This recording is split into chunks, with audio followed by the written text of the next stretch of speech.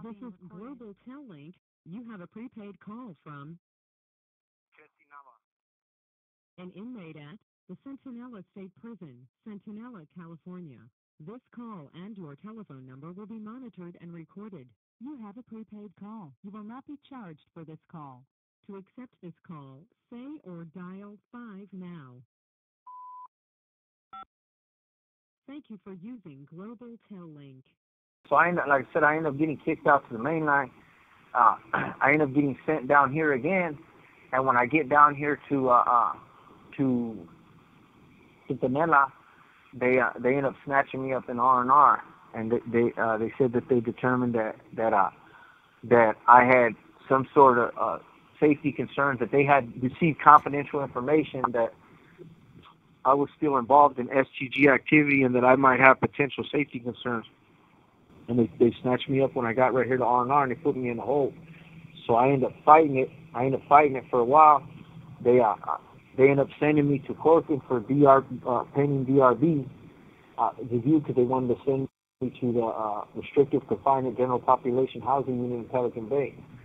So um, I ended up landing over there in Corcoran with with uh, with um, with the with the homie who actually hooked me up with you. I was actually there with his homie at the time, uh, with the homie Clumsy, and uh, and so I ended up landing over there, and so I'm I'm fighting it because they don't want to let me out to the line because they uh, in their eyes that I I still had that I was in some kind of trouble or something like that. So ultimately, uh, uh, I ended up I ended up Sacramento came down to see me, and they ended up clearing me, and they ended up sending me back down here again.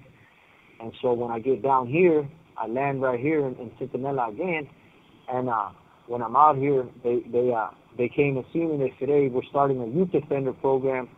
Uh, we're going to send you to Ironwood for a youth offender program." You know, and I was like, because at the time they started making people eligible for this youth offender program. You know, which at the time I didn't know nothing about it, but the counselor was like, "Hey, you're going to go." So I was like, "All right, whatever, let's roll." You know, Ironwood is close to my house too. But you know, it's still within my county, so I figured, why not? So they end up. Uh, uh, they ended up sending me to Ironwood, and I, I got there, and, and the, the staff right there, you know, the, the the administration was like, nah, you know, because mind you, every prison that I've ever went to, you know, I was involved in the shit, you know, like I was I was involved in drug trafficking, I was involved in the gang stuff, you know what I mean? So I kind of had, you know, a reputation, you know, with, as far as with the cops, you know. So when when I got there, they were like, nah, you're not you're not going into the youth offender building because apparently the youth offender building was kind of like a I guess that was like an honor an honor building or something, you know. So administration was I go, well that was the only reason I was sent to this prison is because I was supposed to go to a youth defender program, whatever that is, you know, and, and they were like, nah, well you're gonna have to be here for a while before we let you in the building and see what, where you're at. So um I was there probably for about seven, eight months or something like that and then they end up uh they end up snatching me up again saying that I uh was over familiarization with staff. And uh, they end up taking me to the hole in Chuckawalla and uh, they put me up for transfer. They said they said it was crazy is, is the IGI put like a little twist on me, basically saying that that uh, that I still owed uh, um, I still owed one year monitor inactive status, but I'm not knowing the the the ins and outs of the of the settlement when they started kicking all the gang members out. I don't know. I, I hadn't really read in depth about the case law, so I wasn't. I didn't know anything about them uh, doing away with the actual with the phase five, but IGI put the twist on me. So what they did is they sent me back to a level four to SATF, to the CR to the 180, uh, supposedly for my one year monitor and active status. But when I got there to SATF, um, there was like a, a bunch of uh, other validations, uh, people that validated that got kicked out of the shoe. You know, like uh, uh, like fools that had been there a long time, like the last ones that they got kicked out. And so a lot of Morenos there and a lot of the homies and stuff like that that were there were like, nah, fool, there's not even, I explained to them the situation, you know, I gave my lockup order, showed them everything, you know, that I was coming from the hole in Chuckawalla, and I told them, like, look, man, they, they, uh, they say that's what, you know, and they said, nah, it doesn't work that way, 602 it, there is no, there is no phase five anymore, you know what I mean, like, uh, you know, hit them up, and so I end up 602ing it, and they actually end up granting my 602, so they end up putting me up for transfer and, and, and, uh, and sending me to, um, to, uh, uh, to Pleasant Valley, to a level three right there in Pleasant Valley, so I went from SATF to to Pleasant Valley to a level three, and and, uh, and I was there for a while, you know. Man, so you had it rough. They they just had you bouncing around from place to place to place. Yeah, yeah, yeah. but it breaks up your time a little bit, you know. Yeah. So what what what what ends up happening on- once you you touch down in Pleasant Valley? So I, I of course, uh, again, like I said, I was in the mix, you know. So people had already called right there to Pleasant Valley and and and uh and um and basically said like uh, uh you know, hey, the homies get gonna get there, you know, try try to help them out. And, and there was there was one of my boys. There was a seat right there in Pleasant Valley on the mesa, and for, you know, for somebody else that I had never uh, I had never worked worked for him before, but my boy was actually in charge of all that man's affairs. So as soon as I got there, you know, he he had somebody slide me the cell phone, and he's like, "Hey, fool, you know, now that you're there, uh, you're gonna pick up that spot. I need I need your help right there, you know." And so, of course, you know, anybody that's involved in that shit is usually pretty ambitious, you know what I mean? And and, and I was no different, you know what I mean? So of course I was more than willing to to get involved, you know. And so uh, when he asked me if I could pick up the seat right there, I was like, sure, no thing, you know. And so uh, uh so course I got involved doing the same shit right there, you know. For I was there for about eight nine months, and um, there was a couple guys, you know, there that I had been having a little issue with over, you know, of course it's usually over, you know, money and drugs. People get greedy and stuff like that. And so uh, one of the guys ended up uh, uh, trying to reach out to another one of them boys. By this time, all the actual gang members, not just associates, but by this time, all the gang members are actually out on the yard, you know. So they're everywhere. They're in Kern Valley. They're right here in Centinela. They're, you know, they're they're in Salinas Valley. They're in the Bay. They're in New Folsom. By this time, all the gang members are out. So you know, everybody that had been helping out and doing the things, uh, you know, that that I had been doing for years, you know, it, it's basically like now now everybody's got a direct line, you know, because it's it's not hard to correspond or, or or connect with these dudes because they all got cell phones, you know. So uh, one of these cats that that uh, uh that had, that was right down the yard with me was was uh, he ended up he ended up getting in getting in somebody's ear and uh and basically you know telling him that I that I was up to no good right there, you know that that that um and so that cat actually asked me about about his brother's business and and when I basically told him like, hey man, you know, like I, I'm not at liberty to discuss old boy's business with you. If you have any issues about what I'm doing, you know, you know what I'm bringing in, what I'm doing, take it up with your brother. You know, like it, it's This call and your telephone number will be monitored and recorded. and uh and in the end they they uh so he felt disrespected by that you know he was like you know who the fuck you think you're talking to and you know them dudes will get at us kind of foul you know like i said they they you know they guess they supposedly earned that right to to talk to whoever they want however they want and ultimately that that's that's how that played out you know so and i was just like look man you know like w- wouldn't you want me to to hold your if i was if i was taking care of your business wouldn't you want me to hold my cards close to my chest you know what i mean like you know and and he was just like, man, I don't give a fuck what you do, and you know this, and basically just started getting foul at me. But what can I do? You know what I mean? I can't say nothing. They are who they are. You know, I'm just I'm just another pawn on the on the puzzle. You know, so they uh that goes by a little bit, and uh excuse me, that goes by for a little bit, and so that brother starts campaigning against me. You know, he starts reaching out to the to the dude that I work for, and he starts re- and and that guy's like, hey, well, don't worry about it. So then he starts getting at his other brothers, because in his mind he's like, you know, fuck this dude. Who does he think he is? You know, I'm I'm not a brother. You know, I'm just like I said, I'm just another pawn on the on the puzzle, and um, so he starts campaigning. You know, at getting at other brothers, like basically trying to get enough support in his corner to basically uh, uh to basically have me moved on because he realized that that uh that old boy that I that I was doing my thing for wasn't gonna wasn't you know he wasn't gonna change his mind about me.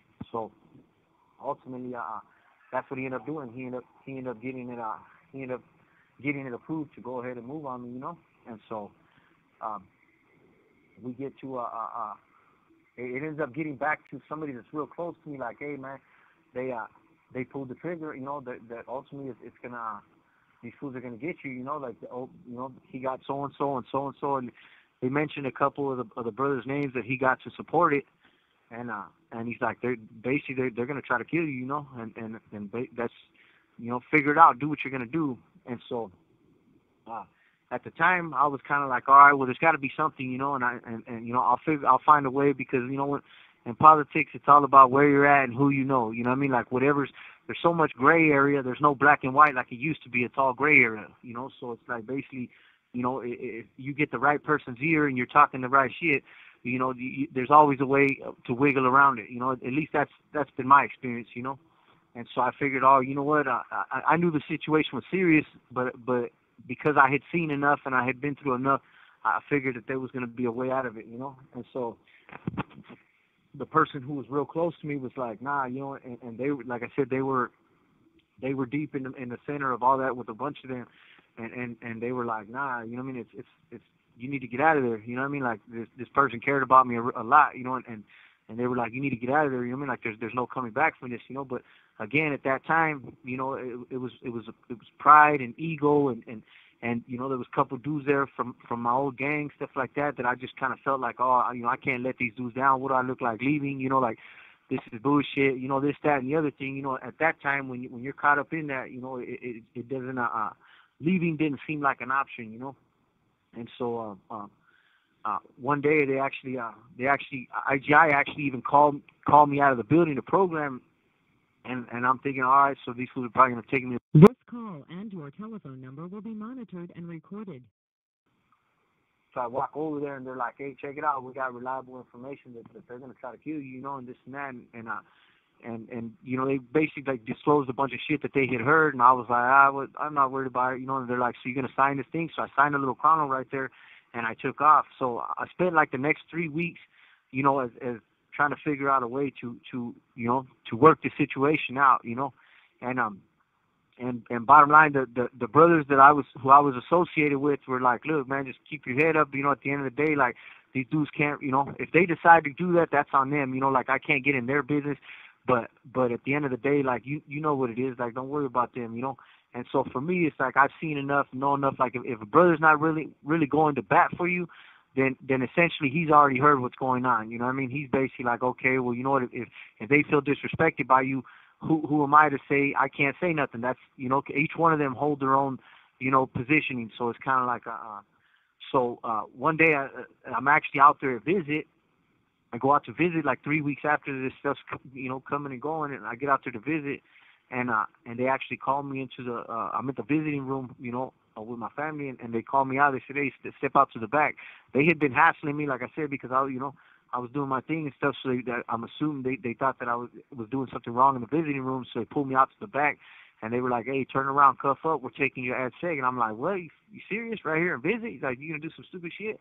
and they're like, "Nah, we got to take you right now. We got we got uh, information that your life is in danger." And I'm like, "What? Come on, man. You could have done this shit on the yard. You know, I'm in visit. You know, like." And they're like, "Nah, we're taking you." Know, so ultimately, they end up taking me to to Ad Seg. And when I got back to the Ad Seg, you know, I, I 602'd it and I tried to fight the situation just to see. And ultimately, I, I knew that I knew that I was done. You know, what I mean, I knew that you know that I wasn't going to be able to fix the situation, but I was still like trying to figure out, like, man, how you know, there has to be something. I couldn't accept the fact that that I, that that I was done. You know what I mean? Like I couldn't accept the fact that after everything I had done for these dudes, that that you know what I mean that they were going to turn their back on me like that. You know, or, or or come up with some bullshit to find a way to you know to fuck me off. So. Um, I was still living that illusion that there was some some honor and some integrity in what I was doing, and as long as as, as I, I played my cards right, ultimately it would it would it would blow over, you know. But um, when I 602'd it, you know, I was back there for a couple months, and IGI came to me and they said, "Hey, man, check it out. You know, here's here's your 602. You know, you're you're you're not going back to the main line. You want to check out this confidential memoranda, this investigation report. You know, uh, go ahead, hurry up, take a few minutes." And I looked at it, and it was a they had actually intercepted uh, cell phone uh, phone calls between a couple of, of a couple members. You know, basically ordering, you know, ordering for me to get you know murdered. So ultimately, uh, when I looked at it, I just scanned it real quick. It was kind of you have 60 seconds remaining. A little bit of it, and and uh, and after I read it, they uh they were like, hurry up, give us give it back. You know, uh, uh we're denying your 602. You, we're going to refer you to DRB. You you can go to the RCGP or you can go to the uh to the uh, DB the DPU, which was like a new unit, a, a new gang unit. You know, like for dropouts. And uh and I was just kind of like, man, I told him I get the fuck off my door because I was still kind of shocked by the whole situation. And like, man, this is it, you know. And uh, ultimately, they walked away. You know, they walked away from my door. Like, all right, well, that's on you. You, you know, you're not going out to the main line though, just so you know that, that that's a wrap. You know. And uh, we'll send you the RCGP. You can go up there and and and, and play tough still or do whatever you want to do, but but you're not going out to the yard. Your, your 602 is denied. So um, I sat there and kind of like processed it. You know, you want me to call you back? We can't stop now. all right, all right. all right, all right.